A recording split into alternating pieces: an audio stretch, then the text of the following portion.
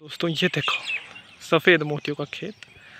हालाँकि ये सफ़ेद फूल है, ऐसे ऐसे देखो, है ना है ना? कूल और ये पूरे में फैली हुई याद पर, क्योंकि यहाँ खेत तो है, पर यहाँ पर किसी ने कुछ लगाया नहीं तो। ये बेचारे फूल खुद ब खुद उगा गए इस भूमि को पावन करने के लिए, जो कि बहुत अच्छी बात है।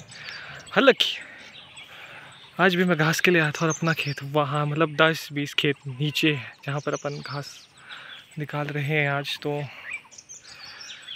मैं थोड़ा वहाँ से घूम के इस तरफ़ से यहाँ वहाँ आ गया। अब यहाँ से एक रास्ता ढूंढते हैं वहाँ तक पहुँचने का। और साथ में व्लॉग में भी इस चीज़ को कवर करते हैं कि ऐसे रास्ते होते हैं यहाँ पहाड़ी खेतों में। हालाँकि देखो, मैं हिमाचल का मंडी ज़िले का रहने वाला हूँ। इसके आगे मैं नहीं बताऊँगा, ठीक है? उसके लिए सब्सक्राइब करना पड़ेगा पहले। और क्यों एन में बताएँगे। बाकी है तो अपन पहाड़ी लोग ही, ठीक है? पर मैं रहता हूँ मैदानी इलाकों में यानी कि वो है देखो पहाड़ ठीक है? और हम रहते हैं मैदानी इलाकों में।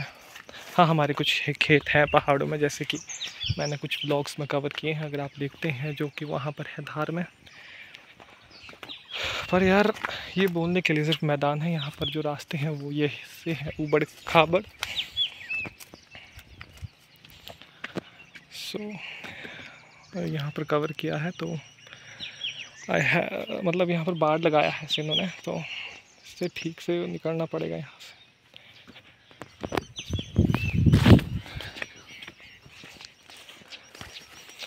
नहीं नहीं नहीं, मक्की के ऊपर नहीं गिरा मैं यार, वहाँ पर गिरा मतलब कूदा कूदा नहीं मैं, वहाँ पर घास थी लगी हुई, क्योंकि खेतों को हम ख़राब नहीं करते हैं, ठीक है?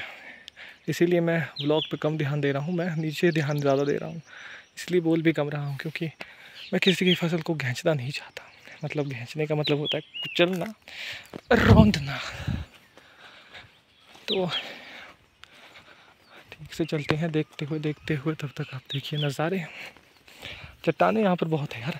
एक्चुअल में इसका रीज़न ये देते हैं कि व्हाट द हेल यहाँ पर जो हमारा ये इलाका है ना, खासकर हमारे यहाँ पर खेत है सभी लोगों के, यहाँ पर इतनी चट्टाने क्यों आई है?